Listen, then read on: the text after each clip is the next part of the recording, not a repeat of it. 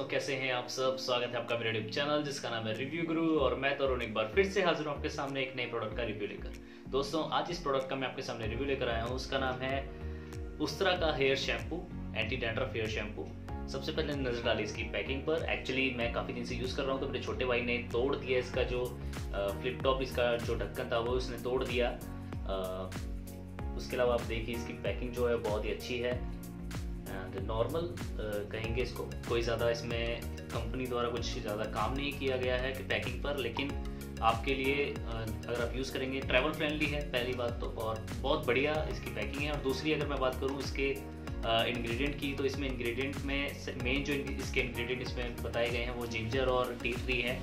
जो कि आपके बालों को उसमें फास्फोरस और पोटेशियम होता है जिंजर में तो वो हेल्प करता है आपके बालों को बढ़ाने में और जो आपके बालों की ड्राइनेस होती है, जो आपकी स्कैल्प पे ड्राइनेस होती है, उसको कंप्लीट उसको हटाने में आपकी हेल्प करता है। दोस्तों डेंड्रफ का मेन रीज़न क्या होता है? आपकी ये अक्सर सर्दियों में पाया जाता है। सर्दियों में क्यों क्योंकि सर्दियों में हमारी जो स्किन है, वो ड्राई होने लगती है। इस तरह से हमारे जो सिर की जो हमारी खोपड़ी है, वो भी ड्राई होने लगती है और जिस वजह से डेंड्रफ जो है, वो आना शुरू हो जाता है। तो उस ड्राइनेस को ख़त्म करता है, इसका मेन काम क्या है? ड्राइनेस ख़त्म करना। तो वो ख़त्म करता है, उसके साथ ही आपका जो डेंड्रफ है, वो खत्म होता है। और डेंड्रफ से ही बालों की जितनी भी प्रॉब्लम्स होती है, वो सारी डेंड्रफ से ही होती हैं। तो डेंड्रफ अगर खत्म होएगा तो आपके बाल जो हैं, वो टूटने बंद हो जाएँगे, गिरने बंद हो जाएँगे।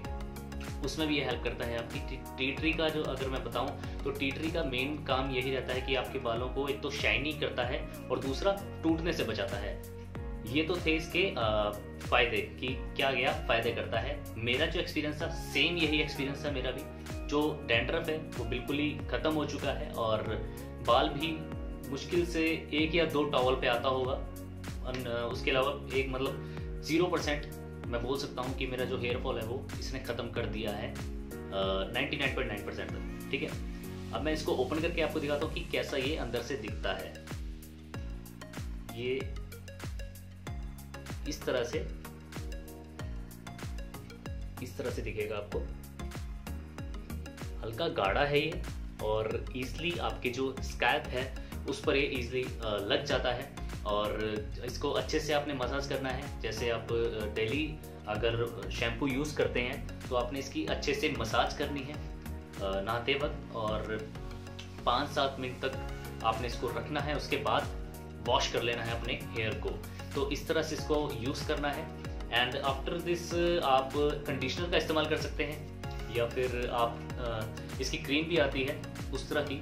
हेयर क्रीम उसका भी इस्तेमाल कर सकते हैं या फिर किसी सीरम का भी इस्तेमाल कर सकते हैं आप, जिससे आपके जो थोड़ी हल्की फुल्की जो ड्राइनेस होती है बालों पर, वो भी ना रहे। तो ये तो थे दोस्तों इसके कैसे यूज़ करना है, वो बता दिया मैंने और किस, क्या क्या इसके बेनिफिट होंगे वो मैंने बता दिया। अब बात कर लेते हैं इसके प्राइस की। तो दोस्तों थ्री नाइन नाइन इसका प्राइस है और इसकी जो क्वांटिटी है वो टू हंड्रेड एम इसकी वॉल्यूम है। एंड तीन सौ निन्यानवे इसका प्राइस है। डिस्क्रिप्शन बॉक्स में लिंक दे दूँगा। वहाँ से आप इसको कुछ डिस्काउंट में परचेज कर सकते हैं।